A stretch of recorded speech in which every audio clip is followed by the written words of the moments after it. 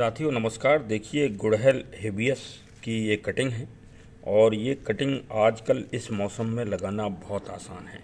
बस काट के इनको ज़मीन में रख दीजिए और दो दिन थोड़ा थोड़ा पानी डालिए और देखिए, बड़े आराम से जड़ें निकल आ रही हैं।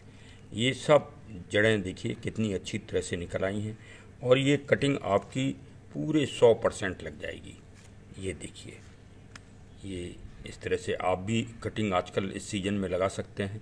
अब मानसून आ गया, जून का महीना चल रहा है और यद्यपि गर्मी भी बहुत पड़ रही है, इनको छाया में काट के और थोड़ा सा कपड़ा ऐसे गीला डाल दीजिए।